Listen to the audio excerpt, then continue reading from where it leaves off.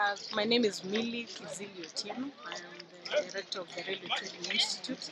Uh, we are here today to clean up our environment. Uh, we were concerned as uh, residents of South B that uh, we, they made our area next to the face of the institute a dumping site.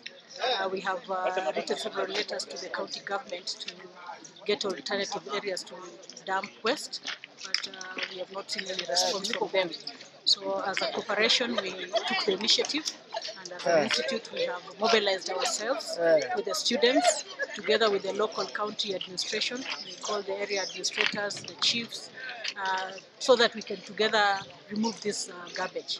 So we are working on this today. We are hoping by the end of the day we will have removed all this garbage that has been uh, a bad so uh, site for the area and very dangerous indeed because in the institute we have about 4,000 students and it's a very big risk uh, environmentally that can easily bring diseases.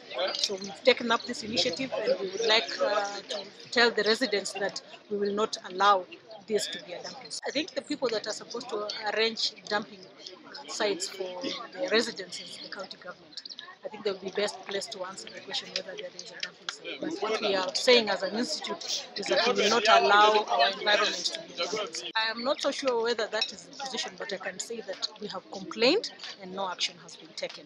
And we have taken the initiative as a corporation to remove this garbage today because we believe in an area that is clean and uh, we would like to pass the same values to the, the institution and the students that we, bring, we are bringing up. So today we have taken that initiative as a corporation, as an institute and even with the students. With me, you can see I have students that uh, have come out of their classes today because we, have, uh, we are concerned that this is becoming such a big issue for us. We have taken this day as a cleanup day for the community. And therefore, we have stopped our classes so that we can sort out this thing once and for all. And therefore, send a strong warning to the residents. Please get an alternative place to dump waste and not at the railway. My name is Charles Kibwe. I'm the Sub-County Public Health Officer for Starehe. And you have come here for this initiative of the, of the cleanup. Because you're also advocating for cleanliness. And uh, bearing in mind that this is an institute and it's not good when you have the dumping around this place because of course these are school. And we are also we also want to prevent issues like cholera. There are very many challenges of health which are going on. So this is why we came for the cleanup which was organized by RTI. And we would like to advocate so these things can be around monthly. But we'd also like uh, the area, the MCA, to get us a, a dumping ground or a transfer station other than coming and dumping on the road. Because you're taking in mind this is just a school which is outside here. So those are some of the issues which are here. And I'm also here with my officers.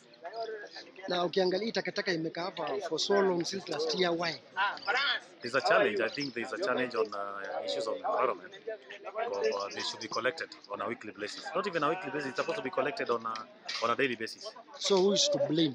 Of course, we also have the county, which is also to take uptake because they're the ones who are supposed to carry their responsibility.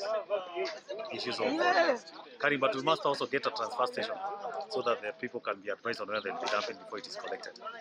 So and you are looking for a dumping site? Yes, yes, yes.